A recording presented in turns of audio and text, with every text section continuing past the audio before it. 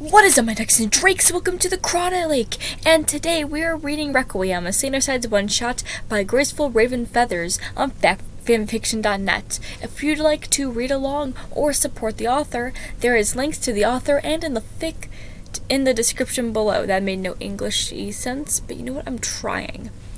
Description. This is a crossover for Sides and Dear Evan Hansen. So basically, Dear Thomas Sanders, Virgil is Connor, Roman is Zoe, Logan is Larry, Patton is Cynthia, and Thomas makes a guest appearance. If you'd like to check out some of the triggers for this fic, look in the description below. Please stay safe. And with that, I would like to get on with the story. Roman glared at the wall. He knew he should feel sad that Virgil that Virgil was gone, but he just felt nothing. Why would he? The jerk had done nothing but hurt him in the other sides. He ran a hand through his hair. Why should I play this game of pretend? Remembering through a second-hand sorrow. He stared at the program from the funeral.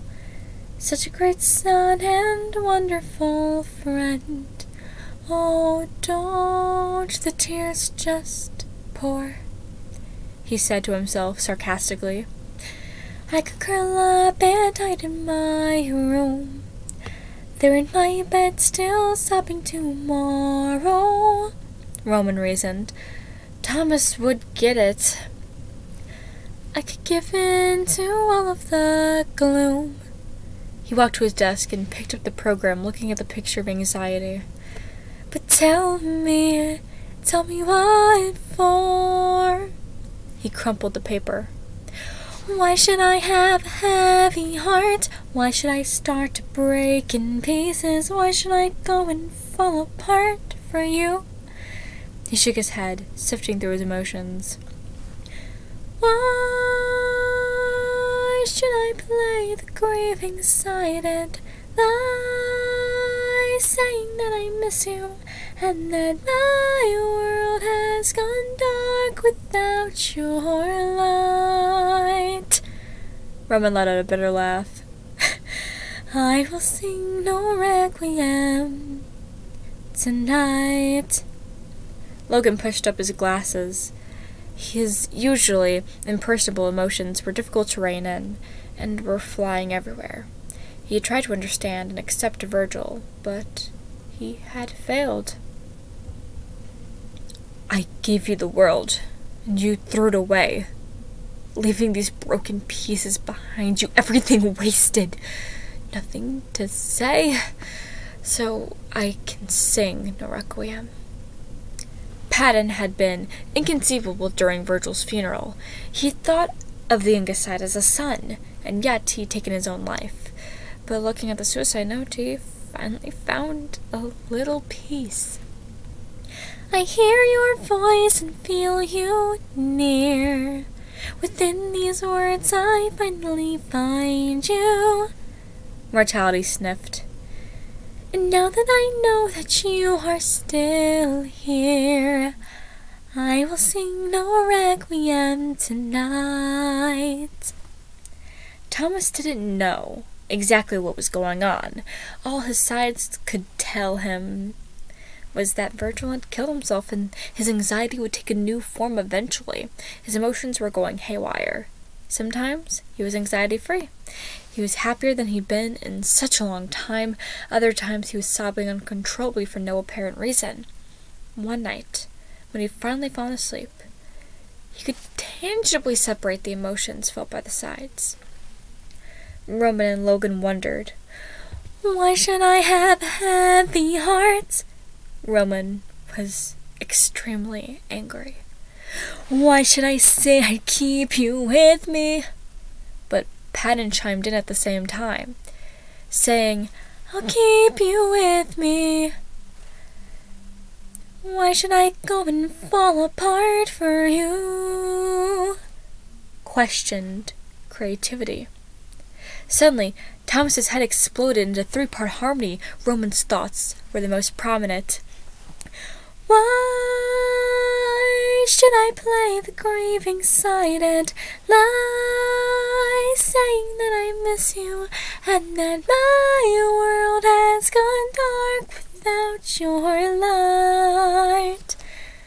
Patton chimed in again, this time with, I can see your light.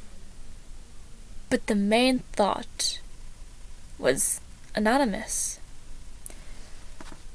I will sing no requiem. And Thomas woke up with a start, his thoughts flying at a thousand miles a minute. Roman sat on his bed, running his hands through his hair. I will sing no requiem tonight, he decided forcefully. He stood, looking at the crumpled picture of Virgil. He narrowed his eyes dangerously. Cause when the villains fall, the kingdoms never weep.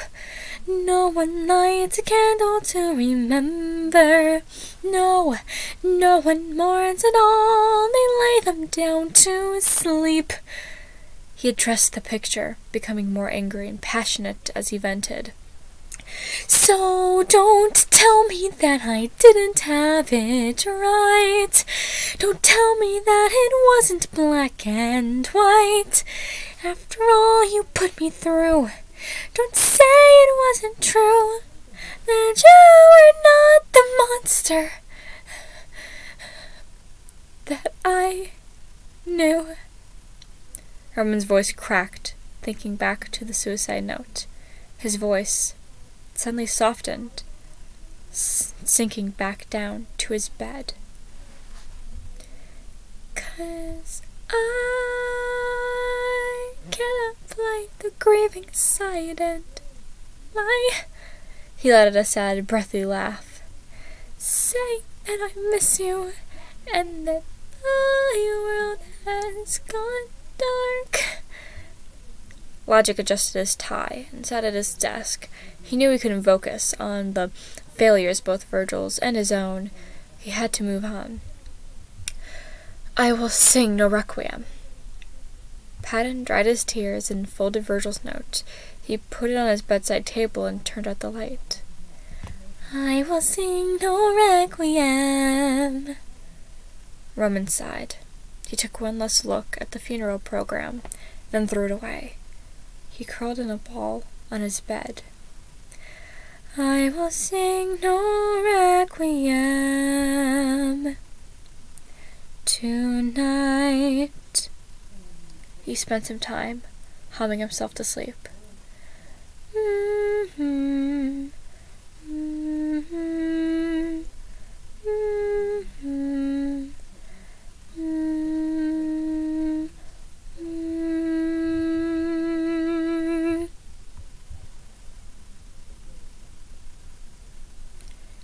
Thank you so much for listening. If you'd like to support the creator once again, you can find their details in the description below. I'd like to apologize for my singing, uh, but you know, we're starting up our musical at school, so I kind of felt like it. You know, I'm just kind of in that mood.